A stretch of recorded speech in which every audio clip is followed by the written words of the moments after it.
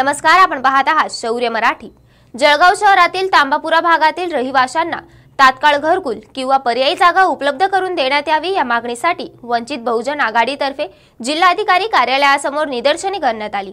तांबापुरा भागातील महादेव मंदिर शिरसोली नाका शामा फायर परिसरात मोलमजुरी करणारे नागरिक गेल्या पन्नास वर्षापासून वास्तव्यास आहे. त्यांच्या घराची पाहणी केली असता ही घरे दहा बाय दहा एवढ्याच आकाराची आहेत.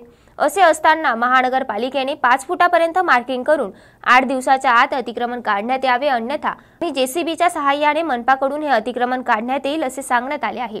आमची संपूर्ण घरे पाडली तरी काही हरकत नाही परंतु मनपाकडून तांबापुरा परिसरात बांधण्यात आलेले घरकुलाचे काम तीन तारखेपर्यंत पूर्ण करण्यात यावे किंवा आम्हाला पर्यायी जागा उपलब्ध करून देण्यात यावी अन्यथा जिल्हाधिकारी कार्यालयासमोर बेमुदत धरणे आंदोलन पुकारण्यात येईल असा इशारा जिल्हाध्यक्ष प्रमोद इंगळे यांनी केला आहे. तांबापूर परिसरामध्ये महादेव मंदिर जे शिरसोली नाका आणि शामाबाग परिसरात जे मोल मजू मजुरी करणारे जे गौरगरीब नागरिक आहेत ते गेल्या पन्नास वर्षापासून त्या ठिकाणी राहत आहेत. परंतु मी कालच्या दिवशी सदर परिसरामध्ये गेलो असतात सर्व लोकांचे दहा बाय दहाचे घरं आहेत. प्रत्यक्षात घरांची पाहणी केलं असता प्रत्येक घरामध्ये पाच पाच फुटापर्यंत महापालिकेने निशाणी केलेली आहे. तेथील नागरिकांना सांगितलेले त्यांनी की तुम्ही हे दोन चार आठ दिवसाच्या आत काढा नंतर आम्ही जे सी बीच्या सहाय्याने अतिक्रमण काढू. परिस्थिती अशी आहे की गेल्या काही वर्षापासून महापालिकेने ताबापूर भागातील रहिवाशांसाठी घरकुल योजनेचं बेरुणपरा सामाजिक घरकुलांचं बांधकाम केलेलं आहे.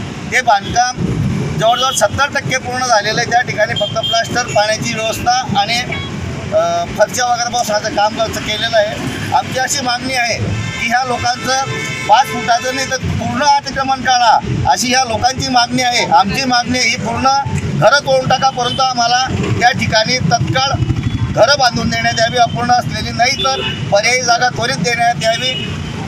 तरच आम्ही हे आंदोलन आपलं तरच आम्ही एक घरं खाली करू. आम्हाला उघड्यावर आमचे संसार उघड्यावर मांडायला लागू नका. गेल्या तीन वर्षापासून कोरोनाच्या काळामध्ये आधीच बेरोजगारी अजून परत घरं पाडल्यानंतर परत सर्व लोकांवरती बेरोजगारीचा प्रश्न उभारणार आहे. यासाठी तीन तारखेच्या आत जर जिल्हा प्रशासनाने आणि महापालिका प्रशासनाने आमच्या ह्या निवेदनाची दखल घेतली नाही तर आम्ही तीन तारखेपासून जिल्हाधिकारी का कार्यालयासमोर बेमुदत धरणे आंदोलन करणार एवढं सांगतो. Shri Swami Samarth financial services Jalgaon. शेती कर्ज पीक कर्ज वैयक्तिक कर्ज व्यावसायिक कर्ज तारण कर्ज आणि विविध कर्ज सुविधा उपलब्ध. Shri Swami Samarth financial services Golani market Jalgaon.